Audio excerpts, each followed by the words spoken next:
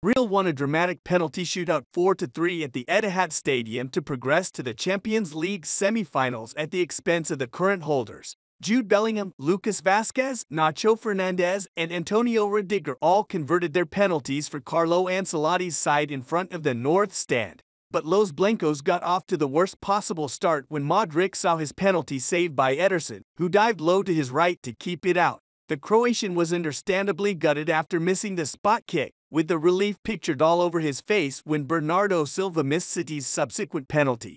But fans spotted a moment after Modric's penalty which they think may have contributed to Bernardo's miss. Immediately after Ederson's save, the ball bounced back to the 38-year-old midfielder, who responded by kicking the ball directly into the north stand. When Bernardo walked up to take his spot kick, he had to wait for another ball to be thrown over the Hoddings, with the previous ball somewhere in the north stand. After a few extra seconds had elapsed, Bernardo stepped up and hit his penalty straight at real goalkeeper Andriy Lunin, and fans are convinced that Modric's action played a significant role in the miss. One fan said he knew what he was doing. Another wrote, Modric's decision to smash the ball into the crowd after his miss hindered Silva. A third simply stated, mind games. And a fourth surmised, Luka Modric pumping the ball into the crowd, causing Bernardo Silva to miss his penalty was a master class. Mateo Kovacic then missed the following spot kick for City, and Real won after scoring all the remaining penalties.